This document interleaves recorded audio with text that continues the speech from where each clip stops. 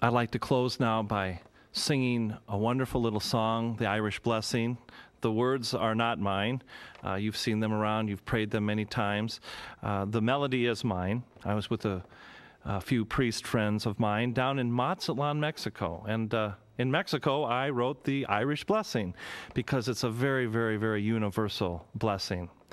And you know, it's one of the few songs that as I wrote it, I I thought of my parents in particular, and I and I wept as I wrote it because I miss my mom and I miss my dad.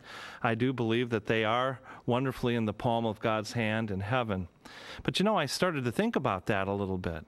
If my mom and dad and even other people who have gone before me that I miss, if they're in the palm of God's hand, and if I'm in the palm of God's hand, that means we're in the same palm.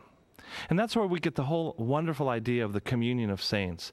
Whether people have gone before us in death or whether they're still on earth and we haven't seen them for a while, we who are filled with the Holy Spirit, we who are sons and daughters of God, are all one in Christ.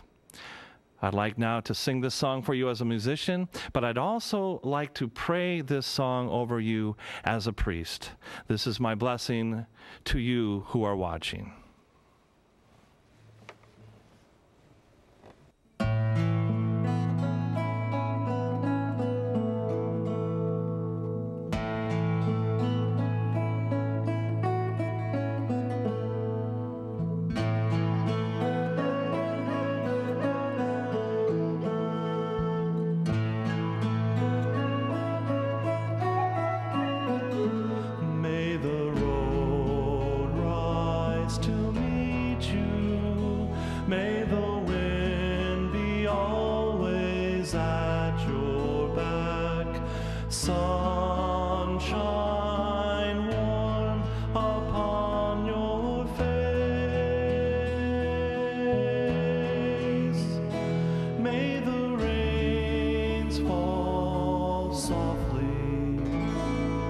Until